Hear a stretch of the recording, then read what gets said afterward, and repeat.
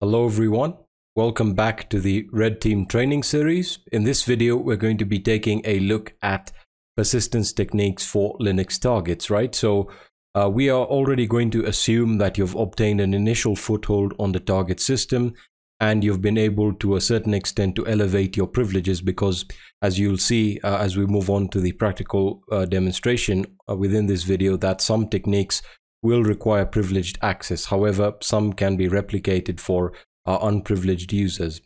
That being said, uh, what will we be covering in this video exactly? So again, we'll, we'll just go through what persistence is, and then in the practical uh, section of this video, we'll begin exploring the techniques. Uh, the techniques we're going to be taking a look at are uh, going to be account manipulation, uh, creating a privileged local account, modifying the Unix shell configuration file, so uh, you know, talking about how to modify the bash RC file.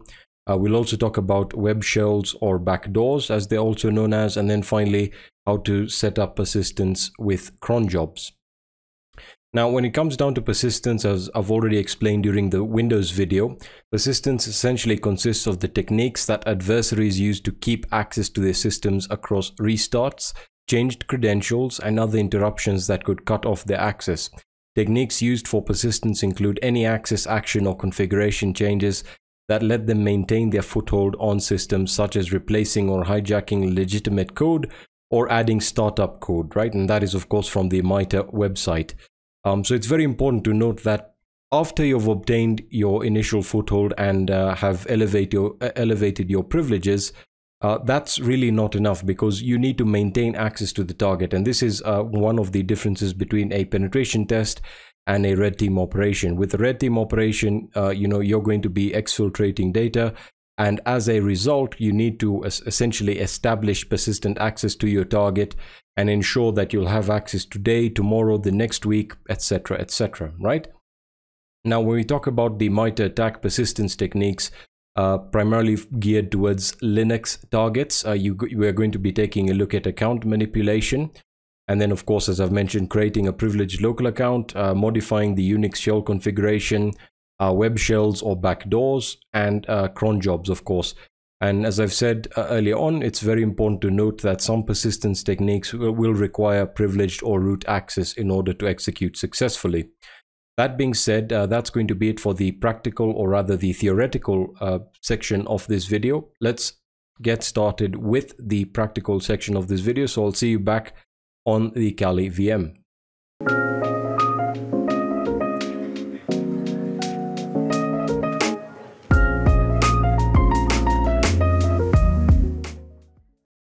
Alright, so I'm back on the Kali VM and for the purpose of this video, we're still going to be using the virtual machine that we set up uh, for, for as the Linux target, which uh, as you know, we've already obtained initial access on and have elevated our privileges. And of course, we also performed a bit of lateral movement or horizontal uh, privilege escalation and were able to get the credentials for two users on the system. And then of course, we obtained root access by uh, taking advantage of misconfigured sudo permissions. So again, I can just uh, copy the command that we used uh, during the privilege escalation video and I'll just paste that in there. And if I then spawn a bash session here, so I'm just going to do that right now. So bin bash and uh, I'll just make it interactive. So bin bash i and you can see we have access uh, to the root user and I'll just head over into the root user's home directory, right? So we have already established root access or uh, elevated our privileges successfully to that of the highest user on the target system. Uh, now our job is to set up persistence. So the first technique we're going to be taking a look at is going to deal with account manipulation. More specifically, we're going to take a look at how to establish persistence via the use of SSH keys. All right, now on this on this target system, uh, we were able to SSH into the box uh, via credentials for the user Stephen and for the user Michael. However, uh, we still did not obtain the credentials for the root user. Now, of course, you might be thinking, well, why don't we just change the password for the root user? So, you know, I can say password and then I type in root and uh, I can then change the password for the root user. But that would be a big mistake, primarily because uh, when the, the root user or the administrator tries to log in with their password, uh, they will of course find out that it's been changed and of course that could uh, indicate that this server has been compromised in in some way right So in regards to defensive agent, we want to avoid changing any credentials. What we want to do is utilize SSH keys so that we can authenticate to the target via SSH without providing a password. Now, in order to do this, we first of all need to ensure that SSH key uh, authentication or public key authentication has been enabled within the SSH configuration file. Now, given that we're the root user, we can make changes to the configuration file, but as I said, we want to avoid making any changes that could uh, alert administrators or system uh, or security analysts as to you know whether or not there has been a compromise or you know whether there's anything anomalous uh, going on on the system so we can view the configuration file and the target does not have vim installed uh, so we'll use nano and the ssh daemon configuration file is stored under the etc file under sshd or ssh and then sshd config we hit enter and this is the configuration file Alright, so there are a few options here that have been enabled. By the way, to configure or to enable an option, you simply need to uncomment it. And the comment is defined by the hash symbol here. And you can see that the uncommented options are the ones that are active, right? So for example, SSH is set up to listen on port 22. Uh, we can also see the other options. For example, um, let's see which one looks interesting here. We can also see that logging has been enabled which again means that uh, any SSH authentication attempts, uh, either successful or failed, will be logged. So that's something to keep in mind. Uh, you also see that permit root login is allowed without providing a password. However, we do need to have an SSH key uh, already set up so that we can authenticate without providing the password. How do I know this? Uh, because you can actually, if we go down here, uh, you can see, first of all, permit empty password is set to no. And then, of course, password authentication uh, has not been changed, which means uh, it's not enabled, which means we cannot authenticate to the root user or we cannot authenticate uh, with the root user account via SSH with, uh, with a clear text password. Uh, instead, we have to use an SSH key. All right. So in this case, we don't need to change anything.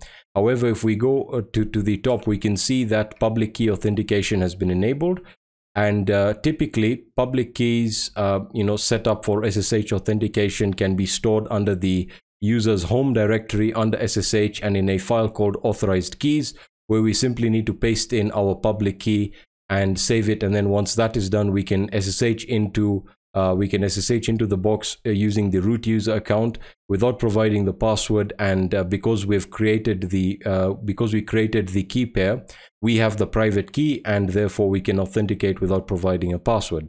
So I'll just demonstrate this to you all right? So you can see that we have root access but we have obtained root access uh, by uh, exploiting a sudo permission misconfiguration right so if we try and SSH into this box, so again, I'll just open up a new terminal on my Kali VM. And if I say SSH root, and then I, I type in the target IP here, which in this case is 192.168.2.157, and I hit enter, it's going to ask for a password. So, you know, I can type in password and it's going to tell me that that's failed. So there we are, permission denied, right? So we can't log in unless we have an SSH key. So we need to generate an SSH key. So let's actually take a look at how to do that. All right, so we will generate uh, the SSH key pair on our Kali VM. This can be done by typing in SSH keygen, right? And we hit enter. It's going to say generating public private RSA key pair. Where do you want to save it? We'll save it under my home Kali directory uh, under the SSH directory and uh, we'll just call it IDRSA. So we'll use the default option. So I'm just going to hit enter. We don't want to provide a passphrase for our key, but in your case, you may want to do this depending on your current situation. I'm going to hit enter, enter, and it's going to say your public key and private key uh, have been saved within the directory we specified. So uh, the way uh, SSH key-based uh, authentication works is uh, we essentially copy the public key onto the target into their SSH authorized keys file. And then uh, we, of course, have the private key. And given the fact that we're the only ones who have the private key, we will be the only ones who can authenticate uh, to the target via SSH. Um, so uh, if I list out the contents, let me just open up my file uh, manager here. And if I list out the contents, I'm just going to show hidden files and we'll go into the SSH directory. Let me see if I can find it here. There we are, SSH. You can see we have the public key here. So I'll open this up with my text editor And this is the key we need to copy over to the target. So I'm just going to copy it there. And uh, we will head over onto the target and uh, make sure we're currently within the user's home directory. Now, this can also be replicated for other unprivileged users on the system, so it's not limited to the root user. I'm essentially establishing access or persistent access, uh, you know, to the root user without even knowing their, the, the root user account password, right? So uh, you can see that if we list out the contents of their home directory, they don't have an SSH directory, so we'll need to create one. So we'll uh, make a directory and we'll just say SSH and then we'll navigate into that into the SSH directory and uh, within this directory we want to create a file called authorized keys right so this stores the the public keys that are actually authorized uh, for authentication right um, and I'll just hit enter and we'll paste in our public key there uh, you can actually see it's been pasted completely and then I'll hit control and O to save it. It's going to say file name to write. I'm going to hit enter and it's uh, written the changes. So now hit control plus X to exit. And now if I cut out the contents of authorized keys, you can see that our public key has been added. The next thing we want to do is we want to essentially um, set up the permissions correctly. So let's actually do that right now. So the permissions we need to set are uh, number one, uh, we'll say chmod 700 uh, and we'll set that for the SSH directory. So we can say, um, you know, home root just to make sure that we're getting the directory correctly. We hit enter. Um, it looks like, uh, well, actually that's uh, the root user is never stored under home. So we'll just say root SSH. And uh, we then also want to provide permissions for the authorized keys file. So we're going to change that to 600. There we are and uh, we're going to say SSH and then authorized keys, right? We hit enter and the permissions have been set successfully. So what this means now is that uh, because we have the private key, and I'll just display to you here, this is the private key, uh, we can essentially authenticate with the target uh, without providing a password. Now, if you remember earlier on when we tried to authenticate via SSH, it asked, uh, it essentially asked us for a password, right? uh, but we don't know the password and we haven't changed it because that would be quite foolish to do. So we will essentially try and authenticate now. So I'll say SSH root and the target IP, hit enter, and we're logged in without providing a password. All right, now in this particular case, what has happened is uh, what the SSH command did was it looked for uh, any uh, any private key within our SSH directory and it used that key to authenticate with the target system with the root user of course. And because the public key has already been added to the authorized keys file for the root user account uh, the the the actual authentication process was completed successfully and we did not need to provide a password so we now have uh, essentially established a persistent way of accessing the target without providing the password because we have an SSH key now this technique again is going to um, is, is going to be applicable based on you know the the target configuration and uh, you know who uses the system on a day-to-day -day basis or, or, on a weekly basis. Now Linux servers are typically not accessed uh, a lot by system administrators and of course that is a generalization. But if a Linux server has been set up as a web server then the only thing that an administrator would be doing would be logging in uh, to perform updates or upgrades uh, and they may check a few things here and there and then they would log out right? Now if this server has been added to a vulnerability management program or has uh, is actually sending logs to a syslog server and logs are being monitored then of course you you might want to be careful with what technique you essentially or actually use as I've highlighted or I will highlight in, in the future videos when we'll be talking about defense evasion for Linux, I'll, I'll take you through the process of setting up an extremely clandestine rootkit uh, that again will provide you with persistent access and will evade most detection.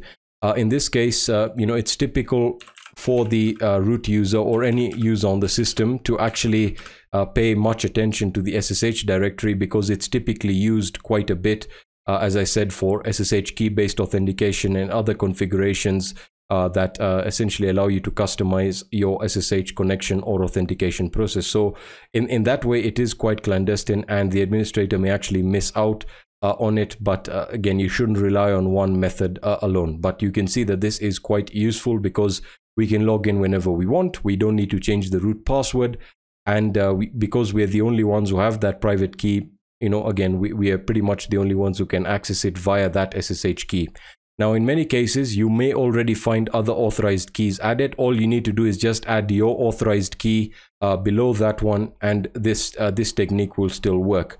Um, so that is how to set up persistence via SSH keys, right? All right, so the next technique we're going to be taking a look at is the process of creating a privileged user account.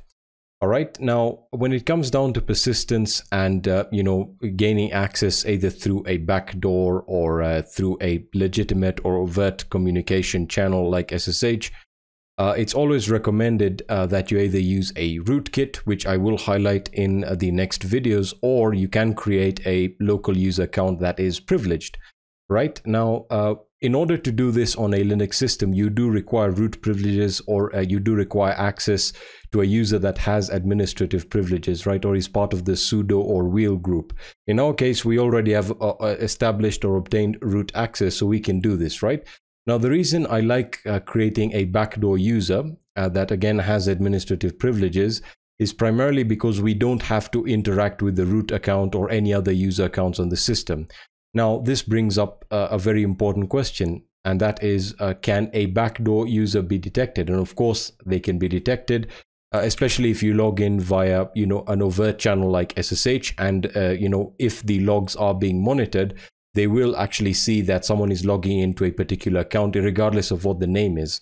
However, I'll actually take you through a, uh, you know, a very basic technique that will help you evade detection or can help you evade detection. So if I display the current users on the system, you can see that we have three user accounts, right? We have the user Steven. Let me just close this up here.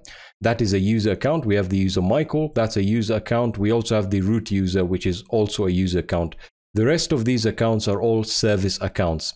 Now, how do you differentiate between a service account and a user account on Linux? Well, the easiest way to differentiate between them is their home directory and the uh, and the shell that they utilize. In this case, you can see that the user accounts all have the shell set to bash, which is the default, right? If we take a look at the user Steven, you can see they have their own home directory under the home directory. And their shell, in this case, for the user Steven is set to the Bourne shell, but that is fine. However, for the user Michael, you can see theirs is bash. And of course, they have a home directory under the home folder or the home directory itself. So that's a good indication that this is a user account. Uh, the service accounts like MySQL are accounts created for the services and typically do not require any um, any shell because again they've been created for the purpose of that service uh, and for management of that service and are typically not privileged. That's why if you exploit Apache or you gain access via a vulnerability within a web application, the user that you'll gain access uh, with or uh, the, the user that you'll actually obtain access with is going to be the www data user. And of course you can then spawn a bash session.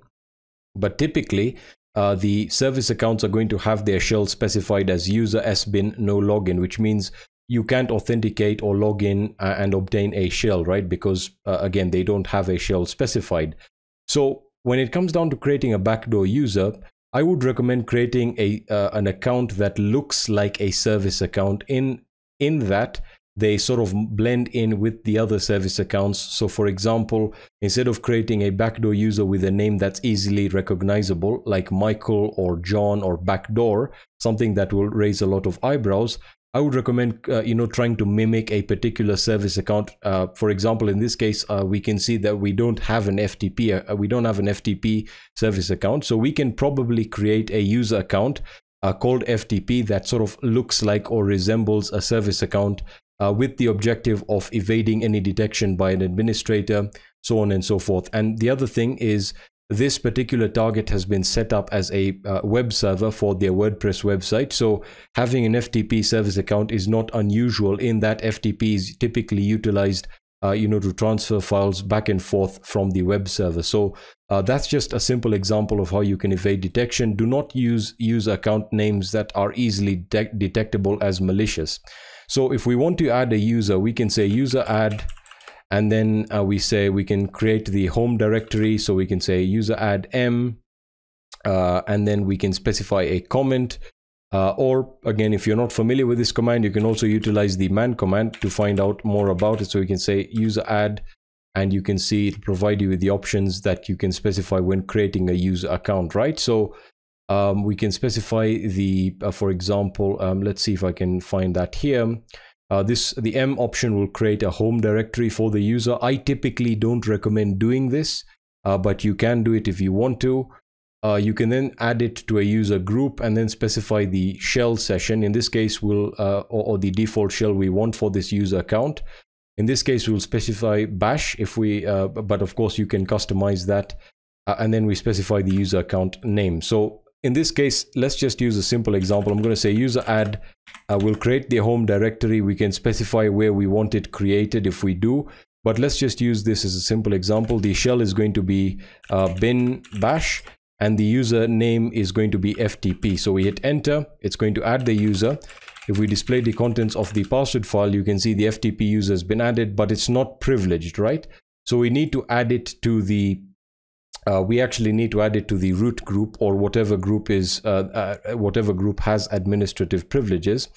In this case, if we take a look at the uh, etc sudoers file, uh, we're not modifying it. We're simply looking for the group uh, again. You can see right away, allow members of the group sudo to execute any command. In this case, we can see that the, the, the group we want to add our user to is the sudo group, right? So we're going to exit from that. We can now say user mod add to group. We then say we want to add the user FTP to the sudo group and then we say FTP. We hit enter. If we now say groups FTP, you can see it's going to be part of the sudo group, right? Which means this user will have administrative privileges. We now want to assign a password for the user because we need a password. So we're going to say password FTP. I'm just going to say password 123. I would recommend using something a little bit stronger. There we are, password has been updated successfully. And now if we display the contents of the etc password uh, or the password uh, file, you can now see that uh, this user has been added and of course the home directory has been created, which again, I don't recommend doing. I would recommend specifying it under the var html directory. So if I say uh, switch or, you know, I want to uh, switch user to or switch my user to the FTP user, you can now see we are logged in as the FTP user.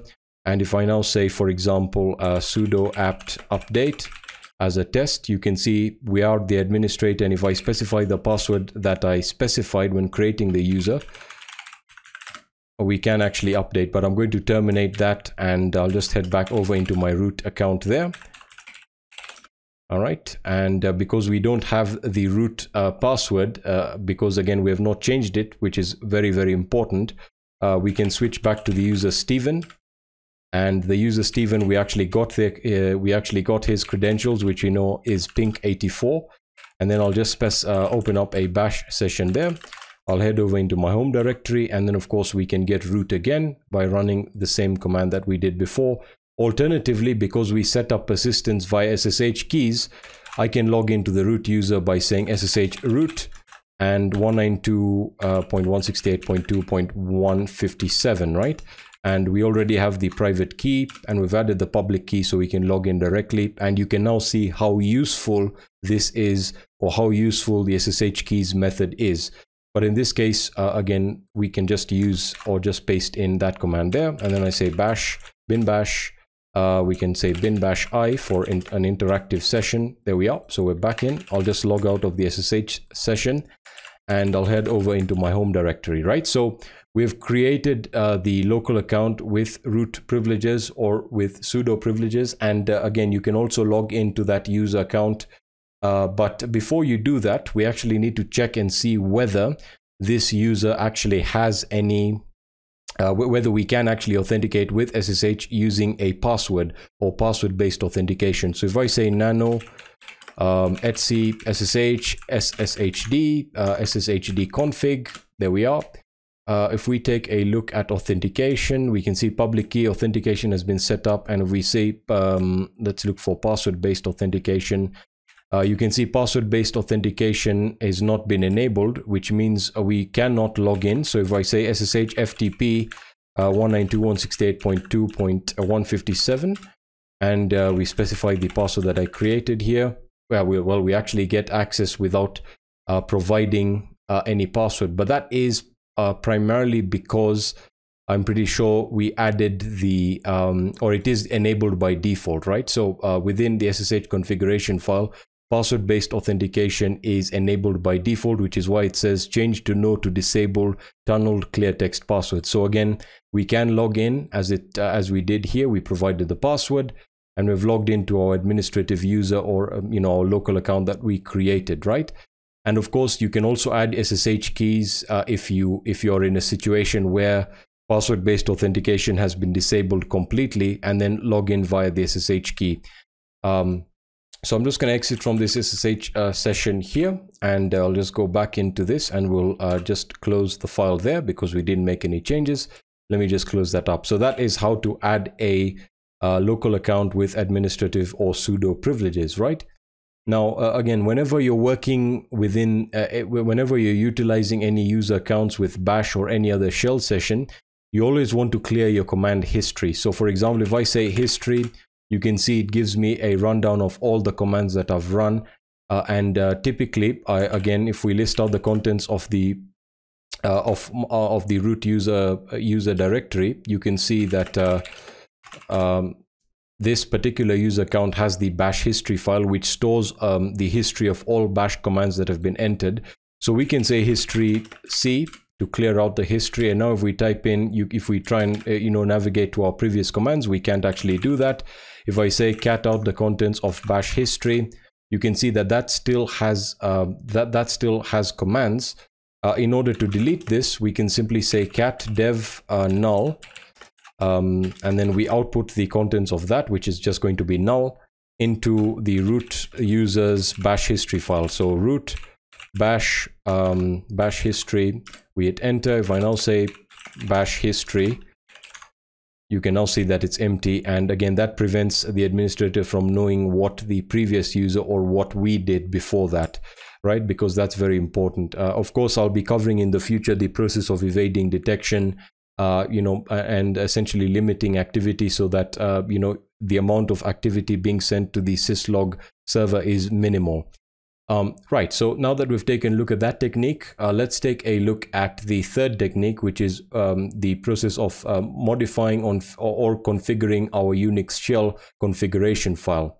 Now, uh, by default, as you can see on the system, on the target system here, uh, all user accounts uh, essentially have or utilize the bash shell uh, with the exception of the user Steven which utilizes the Bourne shell here which means they're going to have a bash rc file all right within their home directory. So for example the root user uses the bash shell as the default.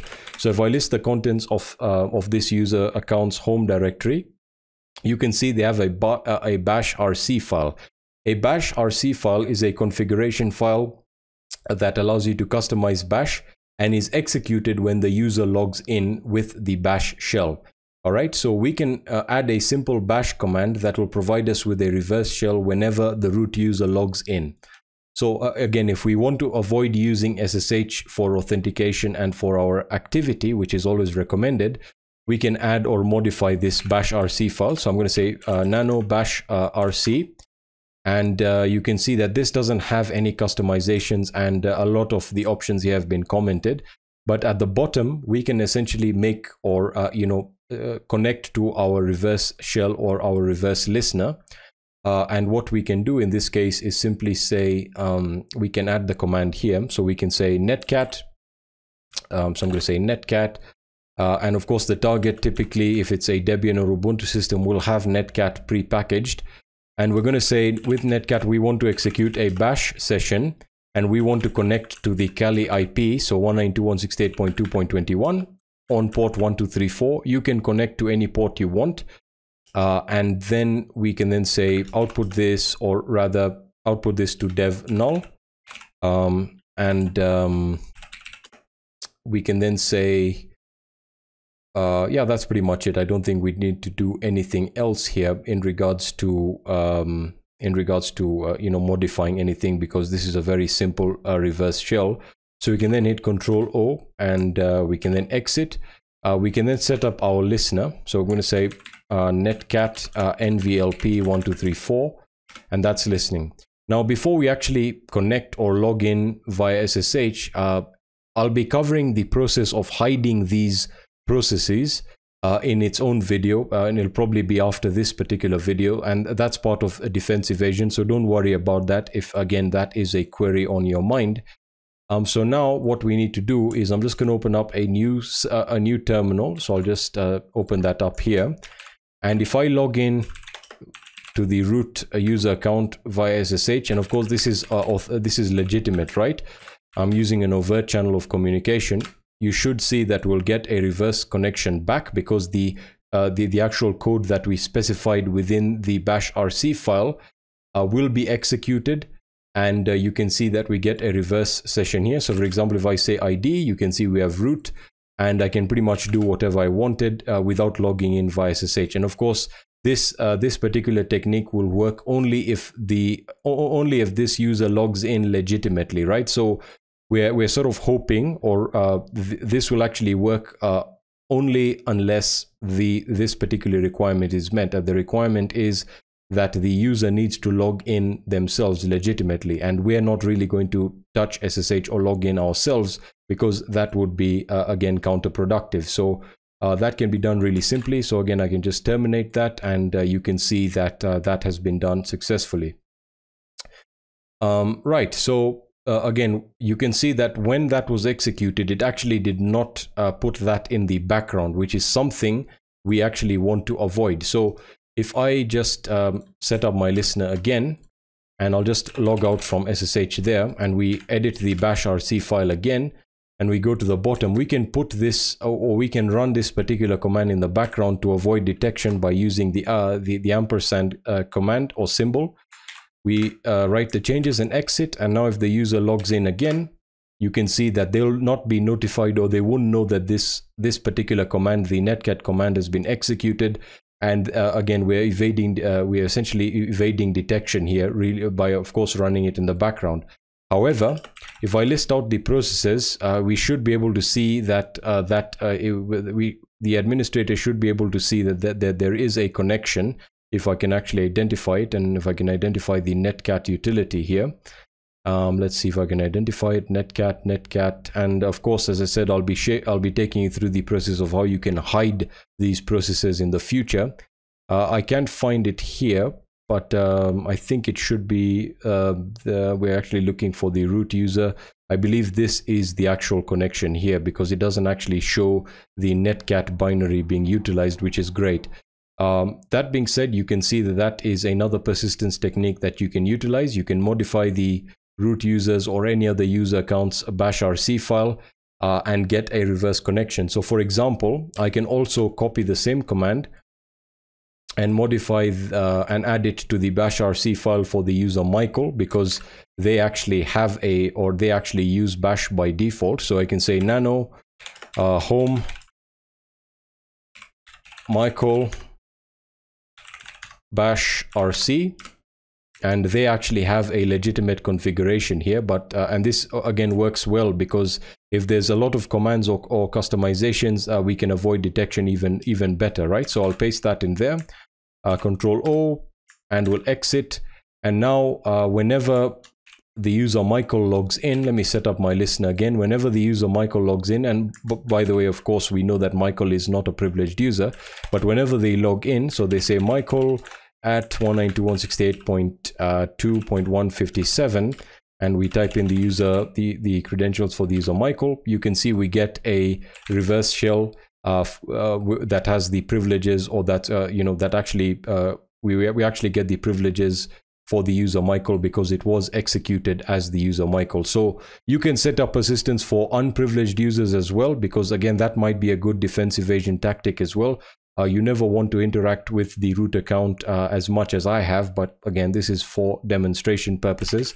So I'll just exit and you can see that their session has been terminated. So that's something that you need to keep in consideration as well right? So we've added persistence for both the uh, the root user and the uh, and the user Michael uh, using two uh, different techniques. We've also created another local user account called FTP, which we can actually uh, modify their bash rc file and add persistence for that user as well. And of course, all of these techniques are extremely useful, primarily because, especially when we're talking about SSH key-based authentication, and the modification of the bash rc file primarily because if the user account passwords are ever changed we can still get access whenever that user logs in. So you never want to rely on credentials for access because uh, credentials can always be changed. And uh, if you have an ssh key you can bypass using uh, clear text passwords.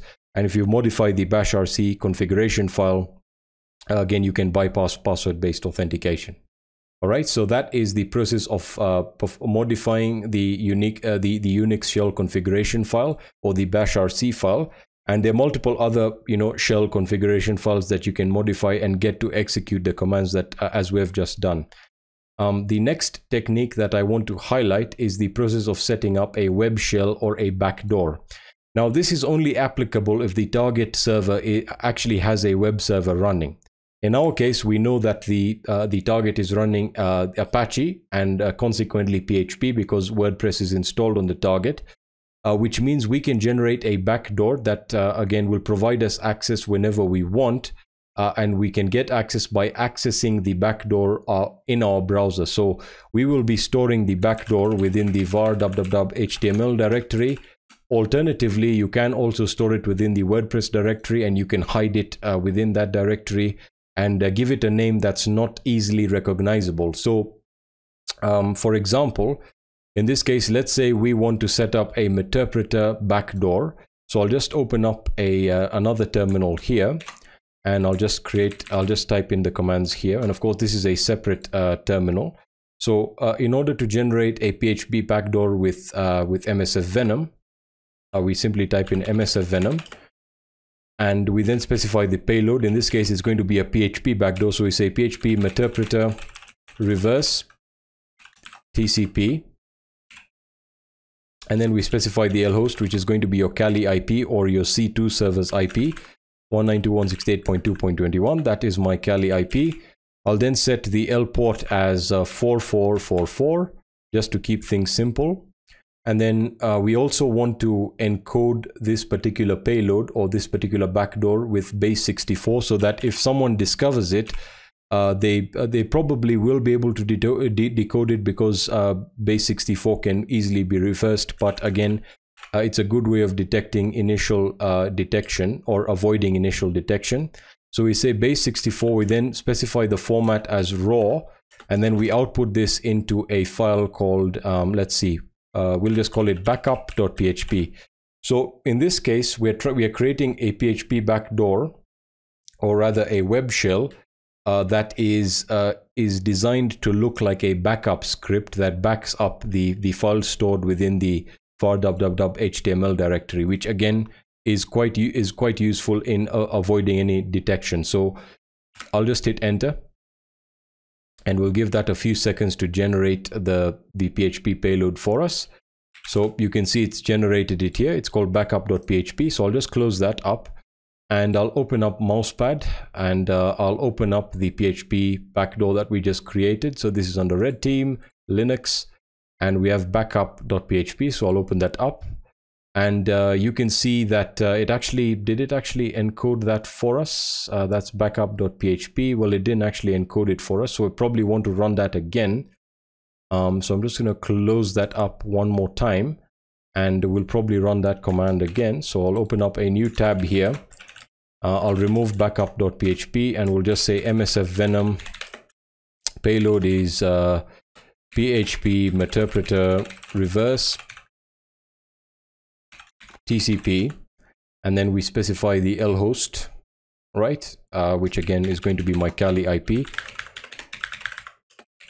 The L port is going to be 4444, and then um, yeah, we need to actually encode it, which I don't think I specified earlier. So encode PHP base 64, right? And then the format is going to be raw, and we output that into backup.php, right? So let me just make sure that my syntax is correct this time. I hit enter. Let's see if that generates uh, successfully. All right, so that has generated successfully. So again, I'll just open up uh, the file again. So I'm going to say open um, and then desktop red team Linux, not payloads, Linux backup.php. And there we are. So it's actually been encoded in base 64.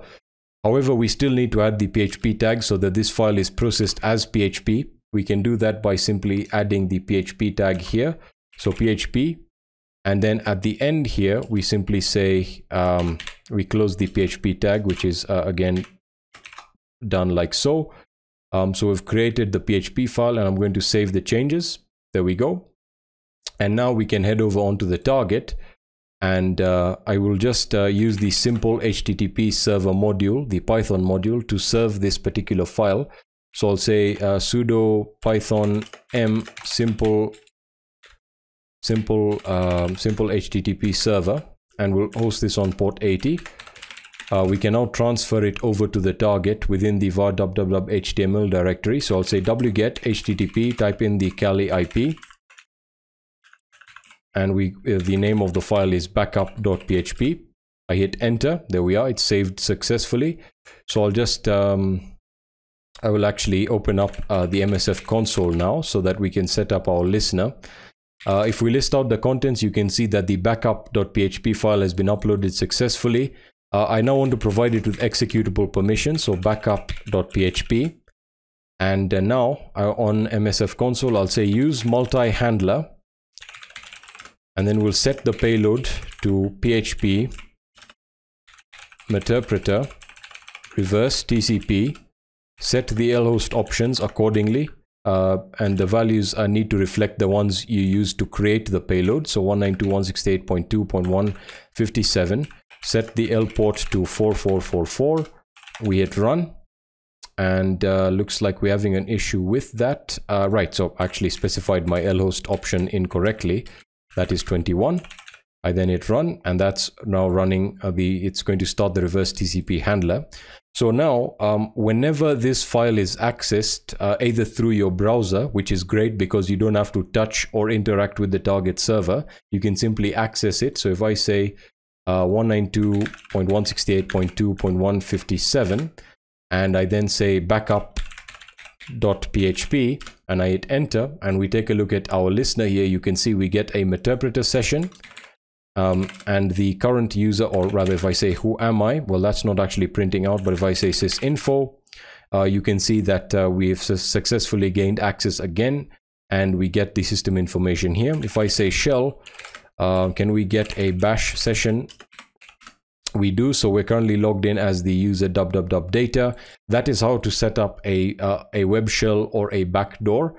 And of course, you can set up multiple backdoors. Uh, in the next couple of videos that will be focused on defense evasion, I'll be taking you through the process of setting up a, a rootkit, which is much more useful than this technique here. As I said, uh, this can be easily detected, but again, you want to give it a name that's really not uh, easily detectable. So for example, uh, you might also want to add the PHP code into a, uh, a page like the contact.php uh, page so that it's processed whenever this page is visited. And again, that will help you avoid detection, right? So that's, uh, that's how to utilize that technique, right? Or how to set up a web shell or a backdoor. All right, so the next technique we will be taking a look at is persistence via cron jobs. All right, so if you're not familiar with what cron jobs are, uh, cron jobs are essentially the implementation uh, of task scheduling on Linux. All right, so the way Linux implements a task scheduling is through a utility called cron. Cron is a time-based service that runs applications, scripts, and other commands repeatedly on a specified schedule. So an application or a script uh, or a command that has been configured to run repeatedly with cron is known as a cron job. And consequently, cron can be used to automate or repeat a wide variety of functions on a Linux system from, you know, daily backups to system upgrades and patches. Now, whenever you're working on a Linux target, uh, you will find that there are a few cron jobs that have been configured. And uh, the reason this is done is, again, as I've mentioned uh, earlier, is to repeat rep uh, repetitive tasks like uh, performing upgrades or uh, performing backups of certain directories, etc., etc. Now you can view the running cron jobs on the target system by displaying the contents of the cron tab file. Um, so if I say cron tab, cat etc cron tab, you can see this will display uh, all the cron jobs running. And uh, by default, the the way this uh, the syntax for this file is is fairly simple. Any commented line, uh, and of course, a comment is defined by the hash symbol. Any commented line is inactive, uh, and then as you can see at the bottom here, we have our our the one cron job that's actually running. and this looks like a uh, this looks like it runs uh, after every after every system reboot and what is executed is looks like uh, the send mail service is started uh, whenever the system is rebooted. So that's one example of how um, of what a cron job looks like. You can see that the cron tab file actually gives you the syntax uh, that you can use to define or to create a cron job as well as an example here. So for example, you can see that this cron job here is a sample cron job that's been commented. And the first uh, the first five digits are very important. The the the other uh, this particular uh, command here is what this cron job is doing or the command that is executing. You can also execute a script or launch an application. But these five here these five digits essentially determine the time right? Or rather the the actual specified schedule uh, that you want this command to be run. So it actually explains it here, right? So to define the time, you can provide concrete values for the minute, the hour, the day of month, month, and the day of week, or use the asterisk in these fields for any. All right, so what this is saying is, uh, as you can see with this example here, it says, for example, you can run a backup of all your user accounts at 5 a.m. every week with the following a cron job command. So uh, for the hour option, you can see that that, or sorry, for the minute option, that is set to zero minutes. Uh, and then for the hour option, that is set to five, all right, so which actually represents 5 a.m. And then, of course, after the hour comes the day of the month, and that is set to an asterisk. So that means uh, for every day of the month. Um, and then, of course, you have the month here, uh, the month specifier here. And then, of course, the day of the week is specified to one, which in this case will mean uh, that, uh, as you can see right over here, this will perform a backup of all your user accounts at 5 a.m. every week with the following command. So uh, the first few digits define the specified schedule. In our case, what we will be doing is be creating a cron job that will again connect back to our netcat listener. So it'll also it'll uh, actually provide us with the reverse shell. If I set up my netcat listener here, so netcat nvlp, and I'll listen on port 1234, and if I want to add a cron job, I can type in cron tab E and that will allow me to modify the cron tab file and I can add my cron job at the bottom. So let's say I want to connect or I want to run a particular command every minute of every hour uh, of every uh, day of the month of every month and every day of the week. We can use the asterisk option as it says here. So I can say uh, every minute of every hour of every day of the month, of every month, and of every day of the week. So those are five digits. And then I specify the command that I want to run. So in this case, we will be running netcat and I'll be connecting back to my Kali IP, which is, or my Kali VM. So I specify the IP and the port, and then I'll be executing, uh, let's say maybe the Bourne shell, right? So this will connect back to our listener here. All right. So as I said, what this will do is it will run this command every minute of every hour of every uh, day of the month of every month and day of the week and it'll run this particular command here. So that means that we will have persistent uh, persistent access via the root user uh, you know every minute. So regardless of whether we lose our session we will still have access. And uh, the key thing to note here is, of course, that this isn't very safe because the cron tab file can be viewed by the administrator or anyone with administrative privileges. And furthermore, we're actually providing information to the administrator pertaining to uh, where this is connecting to. So this can be an indicator of compromise. I'll be showing you a clandestine way of running a cron job that again will will avoid detection quite a bit. So uh, what we need to do now is just hit Control O to save and then Control X to exit, and it'll then tell you cron tab installing a new cron tab. We can view the added cron uh, the the added cron job by typing in cron tab L and if we hit enter, you can see our cron job has been added at the bottom here, in addition to the reboot uh, cron job, uh, which uh, again essentially um, runs the send mail service uh, at every reboot. So we will wait for one minute and we should receive a, a, a reverse shell on our listener here. So I'm just going to wait for one minute. And uh, once we receive our reverse shell, I'll then show you how to set up a cron job that is uh, that it really is quite clandestine and should avoid uh, a lot of detection. So I'm just going to wait for that to actually provide me. There we are. We can see we get a reverse shell. If I type in ID, we're currently root. Let's see if I can actually open up a bash session here. Uh, it doesn't look like that is working, but I can probably also use Python to spawn a TTY session. Regardless of that, you can see that I get a reverse shell. And again, if I terminate it and then run it again, after one minute, I should get a reverse shell connection back. And you can now see how this can be utilized in various ways. And I'll show you the other way uh, uh, shortly as uh, we wait for the second connection, just to show you that this does actually work and will connect after every minute.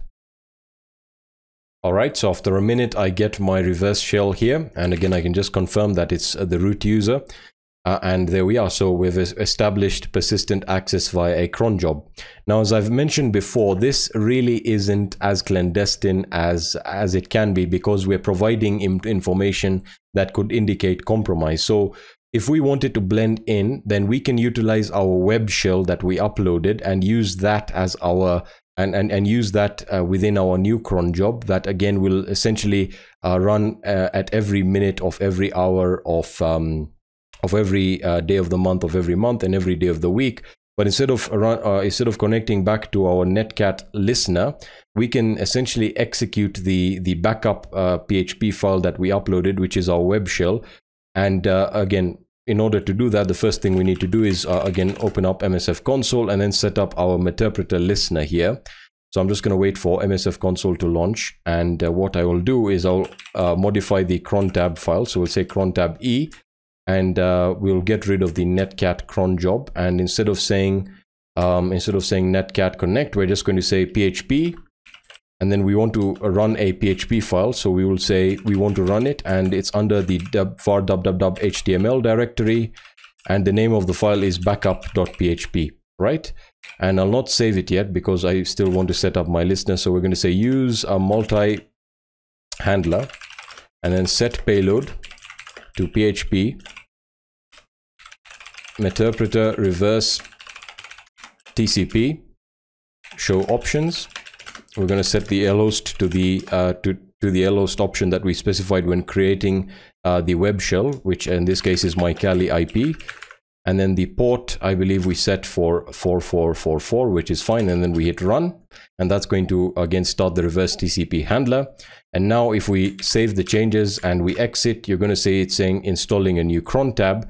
And then after one minute, we should get a connection back and we should get a meterpreter session on the target system. So again, uh, just wait for one minute. And um, again, if we list out the cron tab uh, with the contents of the cron tab file here, you can now see that this is uh, that this is extremely clandestine because an administrator will automatically assume that the the person responsible for managing the website has set up a backup script uh, that again is responsible for backing up maybe the contents of this folder or the contents of the WordPress folder and it doesn't look clandestine, right? So what that means, if they were to analyze it, they would have to go into the backup.php script and then of course uh, analyze the PHP code, which is uh, encoded with base 64. And uh, consequently, then they can go about decoding it. But regardless of that, it's a much more, uh, you know, simpler and clandestine way of handling uh, persistence via a cron job. As you can see, we get a uh, we get an interpreter session, and if I say sysinfo, uh, we get access to the target and this will run as I said every minute so if I again hit exit now and then hit run after one minute I should get access again and this is really a very very uh, useful way of setting up persistence but as I said you want to be able to uh, understand uh, when the administrator logs in, whether they analyze the cron job. So it's again going to depend really on your target configuration and the frequency of uh, of administration of this particular server, right? So You'll have many uh, target servers running on the internet where no one logs into them for you know months uh, at, at, a you know given period of time, and uh, you know in this in that particular case you're really not going to have any issues with detection. As you can see, we get a second meterpreter session, and yeah, we have persistent access uh, set up and and maintained. So again, you can also change the the duration or the actual time specification here based on your own requirements. In this case, uh, you know, I can say repeat it after every one minute or two minutes of every hour or, you know, to connect at a specified schedule. And you can use the documentation in here to guide you as to how to do that. Uh, but that being said, that is going to be it for this video. We've covered quite, quite a few persistent techniques. Uh, in the next set of videos, I'll be taking you through defense evasion for Linux targets and how to hide processes so that they're not detected within the process tree. So uh, do stay tuned for that. And uh, yeah, I'm going to be seeing you in the next video.